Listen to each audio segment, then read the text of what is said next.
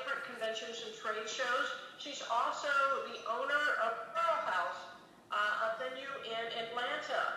So, Phoebe, thank you so much for joining us today. My pleasure to be here, Julie. Thanks so much, and hi, everybody.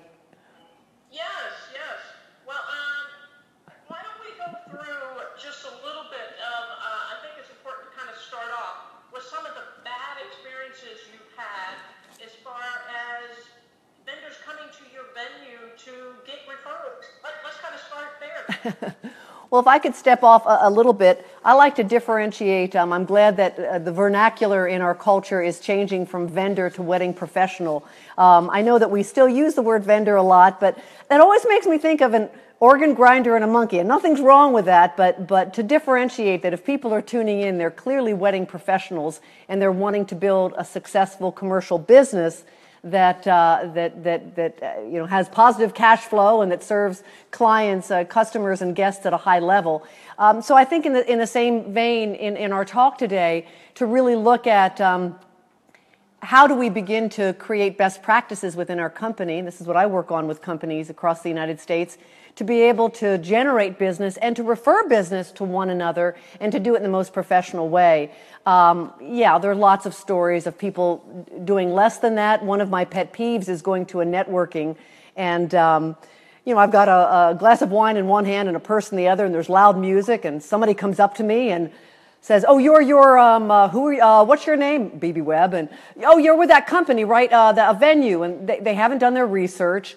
They start going on about their company um, and throw a bunch of cards in my hand. And that's, that's not the most ideal way to introdu- introduce yourself as a professional and to ask, frankly, for another professional to refer business to you.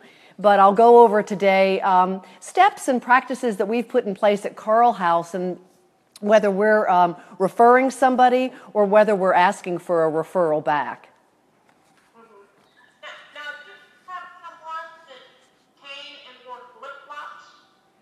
Uh, yes, we did. We did one time. There was a wedding uh, planner who had wanted to um, uh, do some business with us and, and, and came into my venue. And we're, we're just not a flip flop kind of place. you can see behind, it's our ballroom at Carl House. But, but yeah, if, if, if, you're, if you're actually going to meet with somebody for a referral, it's, it's really important that you know what their business is, the culture in their business, their practices, and to, to mirror that. If, if and uh, you know, if we were a Lululemon store, you know, we might come in athletic gear or something, but we're Carl House, and it's a different look and feel. It's more, uh, it's a little bit more formal than that, and uh, so coming in flip flops wasn't really appropriate for our culture. So you, it's really important that if you're whoever you're looking to do business with, that you've read their website, you understand who they are, and you really need to look at how can you also be a benefit to them. And I'll go through some steps on how we do that as well, Julie. Okay. Well, BB, I think I'm just going to let you take it away right okay. now. And, okay. Uh,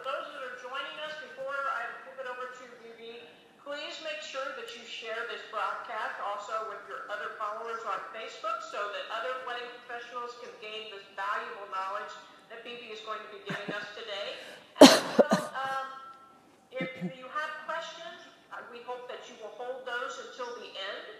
And so now I'm going to go ahead and I love you're, you're my alter ego behind me. We're very creative uh, technology, Julie. Well, thanks everybody. You know, I, one thing I, I realized that in, in doing business, and we've been in business at Carl House for 13 years, is that um, you know you're really only as good as the people you surround yourself with. So that if you are referring somebody or they're referring you you want to make sure that you're reflecting as professionally uh, your image as professionally as as possible. And and really that people it's the old adage people do business with people they respect and people who they admire. And i guess i want to add if there's any big takeaway uh, today is that when you're looking to refer somebody or ask someone for referrals you really want to make sure that it's a win win. And that can happen in a, in a number of different ways. And the key is, too, the whole point behind referrals is we want to build business for one another. And um, you know, as much as we want to give the best service and the best, um, or you know, we have a great product. My father was an entrepreneur, and he had a, a great expression that he would share with me frequently, where he said, "You know, honey, money isn't everything, but it does rank right up there with oxygen." So, referrals and aligning with the right people is a very important way to grow that cash flow in your business because if you don't have it, you can't create the jobs, you can't serve the people who you want to at a very, very high level. I think that there's enough business for all of us out there, but it's important how we align and with whom. And I, I, like to really start in our business, uh, part of our culture is a, a real pay it forward approach. That uh, if, if I know that if I'm doing something good for someone else, um, more often than not, that's going to come back to me. But that there was a, a, wedding planner had asked a question: Why do people always come to me to ask for referrals?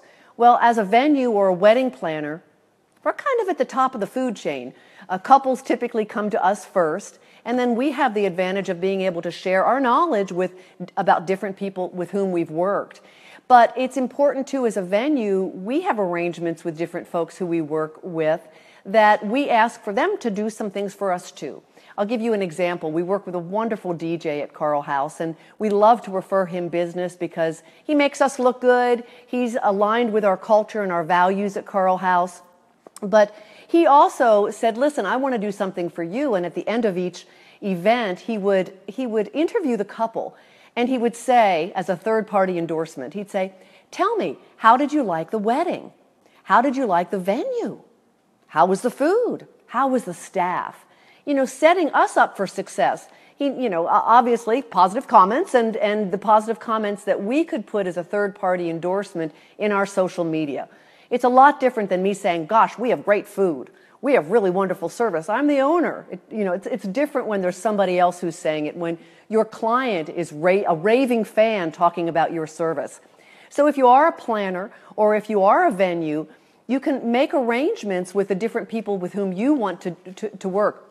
And we do have a process. When people approach us at Carl House, or for instance, the young woman who might come to me in a networking and she's maybe not as savvy about a more professional approach, I think that as stewards in this, in this industry, we need to help one another in how to, to get to the place of best practices and to be professional. And my response to her might be hey, listen, you know, we have a process for that. If you could take down this email, Kimberly at our company, she manages all the folks who, who are wanting to maybe do some, some business with us. And then they email us and talk with Kimberly, and we do have a process. We, uh, we really look to see if, if, um, um, if they're really, uh, you know, who they are. We, we, take, we do references. If they come in and we want to find out about them, we, we take references. We look at their website. We like to experience their work um, we really want to get a sense of them because if I or one of my team members is referring somebody, we want to make sure that they're representing our brand in a very good way. Because it also puts my reputation and my name um, at risk too if I'm referring somebody who doesn't have the level of professionalism that we at least strive for. And so that it's a really good, it's a win win fit. So we like to experience as much as we can about, about that person. And um, we, we have different times of the year when we consider new people to put on our preferred list. But you might even look at, aside from being at the top of the food chain as a vendor or, uh, excuse me, as a wedding professional or a venue, you might, if, if you're referring, um, you're a person who makes beautiful cakes, maybe you know a photographer who's wonderful, you might make different arrangements together on how you refer one another because we're all really selling to the same person. And the more we can come around, we're really a team in creating this beautiful event for, so, for, for folks. You want to make sure that it's really a win win. We also have some arrangements with um, folks uh, where, where we work on a commission basis. And usually, when we do that, um, for instance, we had a cakery that we worked with that we shared about mm, 80% of uh, our lead, or, excuse me, of our customers did business with them. So that constituted for a good part of their profit for each year. So we had worked on a commission basis because, in essence, we were being their sales and marketing arm. And when you consider, when we look at our marketing budget at Carl House, every call or email that comes in costs us about $250. So if we're leveraging a little bit of that and sending those same leads of people who've booked with us to uh, another wedding professional, it only makes sense that maybe they help defray that cost a little bit with a commission. It's not a fit for everybody. But with that, we also at Carl House came up with some other things that we thought would be a win. And um, uh, with that, we uh, include some people on the website. Or we might hand out their literature to a bride.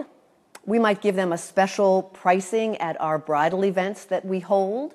Or um, we have a beautiful publication that goes out to every couple that comes into our venue, whether they book with us or not. And they have an opportunity at a nominal cost to, to put an ad in there. So there's creative ways that you can create a win win.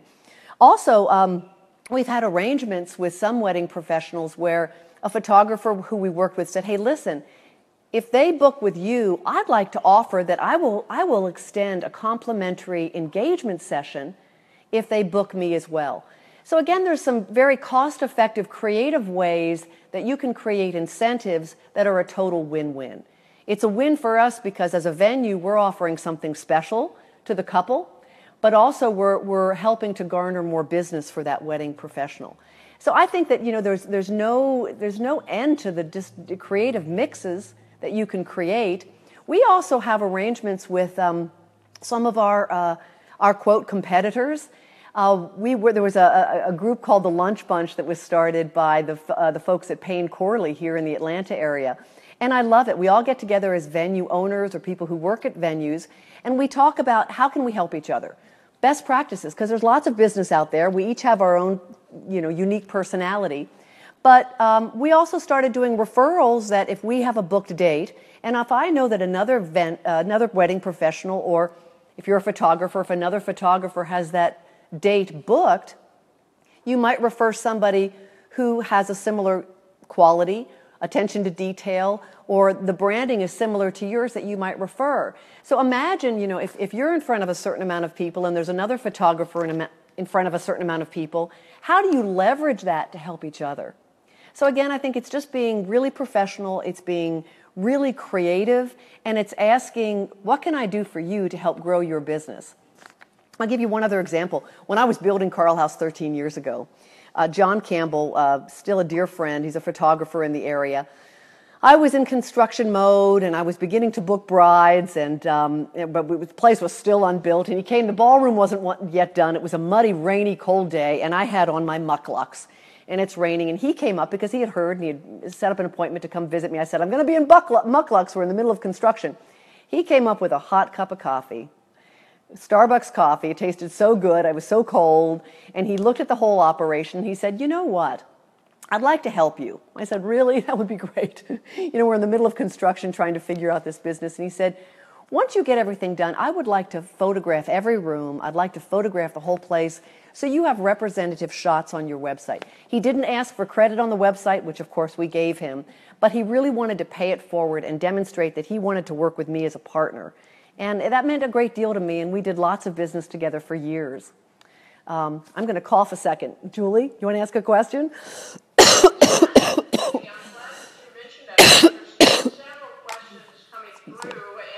mm. from Sabrina. Hi, Sabrina. Thanks for joining us. Um, her question is Do you require that vendors work with you on two to three weddings before considering them in your referral list? Uh, not necessarily. I mean, if we've seen their work and they've been highly recommended, um, it's like it's really like hiring an employee in many ways. If we feel comfortable from what we've seen, because we do a lot of research, and again with the references, we try to uh, be at an event where we can experience or look online. Sometimes, if we do want to experience their work first, uh, we do a lot of marketing events at, at Carl House, so we might ask them to come in and, and we pay a lot for the uh, marketing events. Obviously, we pay for the, the food and the, the, the labor, everything else. We might ask them to donate their time to also get in front of a crowd that they could potentially sell to. So that's another way that we get to see how they work with our team. Because we have had some instances where we've worked with people, and um, one of the poo poos is you don't ever want to throw anyone under the bus. There's always things that happen in any event, but as wedding professionals behind the scenes, we need to make sure that we're banding together. And, and often we'll talk afterwards if something could have been different or better. We'll talk about how do we align together to make sure that, that the, the, the client doesn't see that. But you don't, you know, obviously want to throw anyone under the bus. But we do our research ahead of time, and we don't necessarily ask them to do two events um, beforehand before adding them to our list. Yeah. Uh, well, actually, there's another question from Christine. Okay. Hi, she Christine. Was asking what would be a fair commission? Oh. Um, you know, she said margins are already tight. So, yeah. what, what are your thoughts? sure. I think that depends. And, and if it's a commission, it could be a commission of labor uh, that they mention you on social media. It could be a commission of uh, donating cakes to a marketing event that you're doing, something like that. Um, we've had commissions anywhere from 15% to a referral fee. I think it's so um, individual to, again, like you said, the margins. And, and again, I remember when I first uh, approached somebody who was actually getting a, a lot of business from us, and we said, listen, we, we would like to defray our cost a little bit. Again, it's, it's, it's a business. If somebody can see the value of being given X number of dollars of business a year, you can kind of work backwards and say, what is that worth for that person? So uh, really, it's, it's so uniquely tailored to each individual situation we only did that with a couple of people who we really gave a lot of the business because they also gave a lot back to us in return and made us look so good. And it was a win win.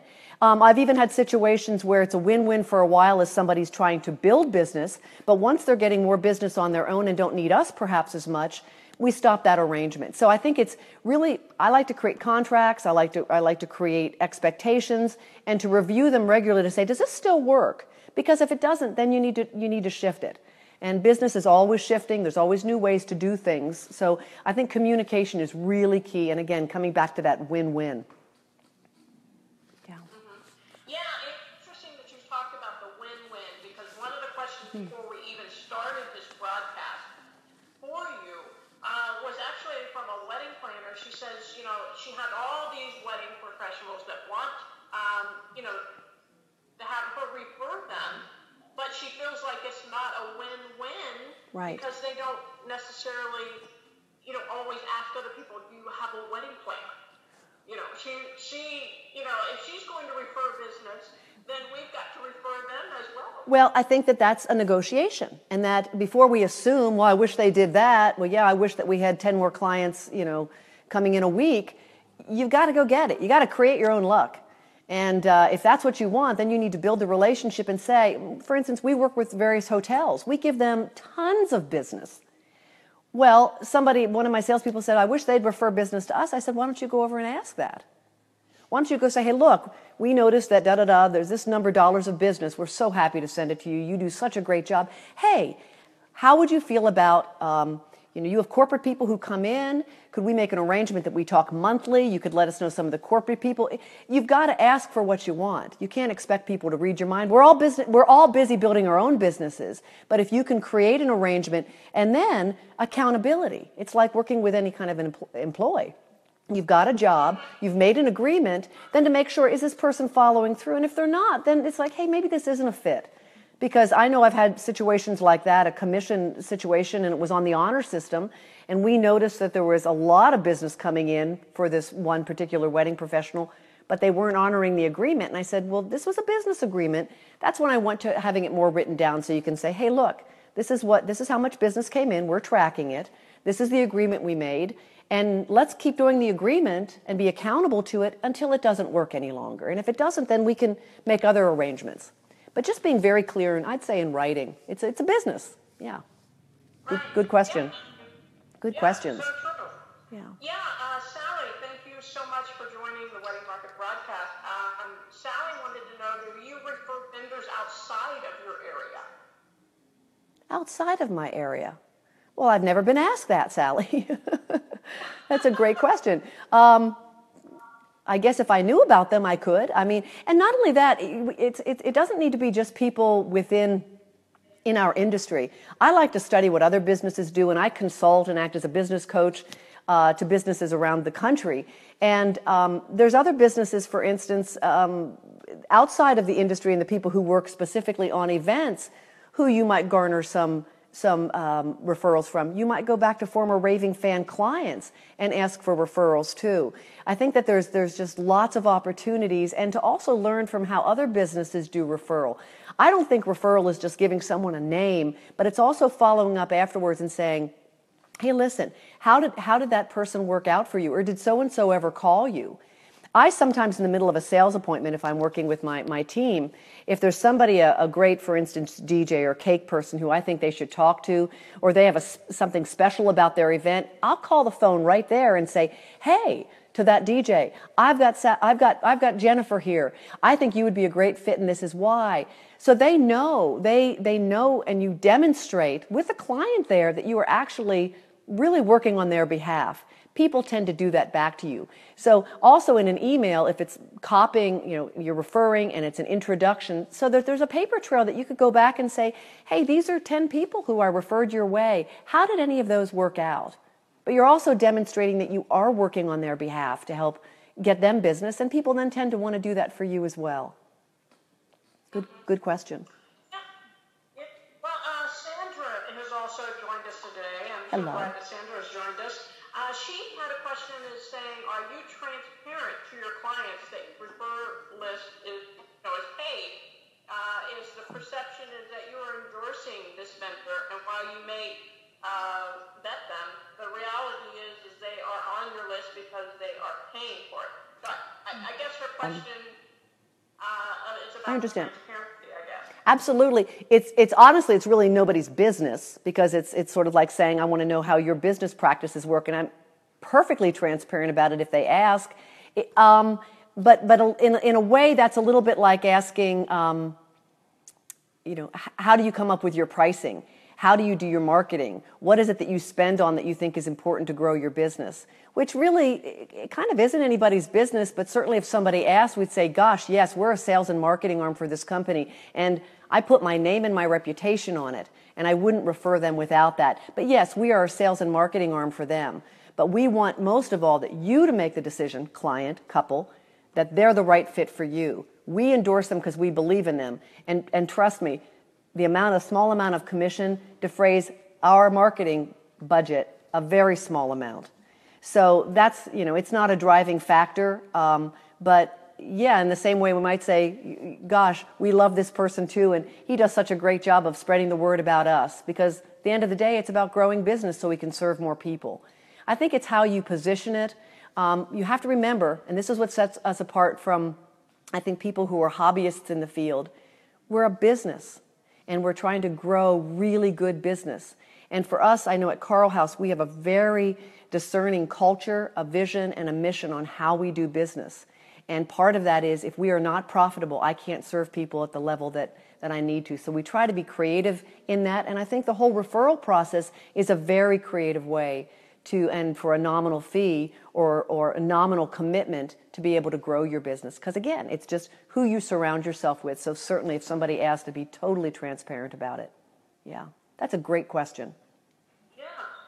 Now, both of us will be at the Wedding MBA this year. What, Yeah. Uh, what will you be speaking on at the Wedding MBA? oh do you have that note in front of me? Curbside appeal. I think that's what it's called. Um, i'll be talking to venue owners about how do you highlight the most beautiful parts of your venue and the parts that maybe aren't as pretty? For instance like the the car shop across the street from carl house. How do we guide people's attention toward the beautiful parts and maybe the parts the aspects that you really can't control around your venue? Or how do you make how do you make for curbside appeal? And then the other talk is called vanishing act. And i'm going to be talking about the the somewhat lost art of really effective communication and maybe the do's and don'ts around texting and email and where sometimes especially in this new generation sometimes where it's really good to pick up the phone or to do you know a skype chat where somebody can see your facial expression hear the tone of your voice and, and some of the do's and don'ts to really build the kind of business you want to build the rapport so you can build the trust with your clients and serve people at that very high level as wedding professionals yeah, I'm very excited. I love speaking at a wedding MBA. And you'll be there too, Julie, right? Yes, yes, I will. Good. Yeah. Well, um, where can they find more information about your company? Okay. Well, at Carl House, um, we actually just uh, we launched a new website. It's uh, carlhouse.com, C-A-R-L, house.com. And um, please look at our, Kimberly's behind the camera here. What's it called, Kimberly? Our newest Insider tips. Oh, all kinds of social media that, that Kimberly, our marketing director, creates to give brides and grooms uh, some expert advice. And then my uh, speaking and my coaching work, uh, my writing work is found at arrivingwithbbwebb.com. And you can see all of my different social media. But uh, if I can help anyone in any way, this is what we love to do. And uh, we're all in this together, and the more we can help each other, pay it forward, be creative and innovative, there's so much business out there for all of us. And it's so great at the end of the day to know that you're building a commercial, profitable business and also serving people at a high level. Yeah. Thank you so much, Julie. Um, it's always fun to visit with your group and, and to speak, and um, thank you.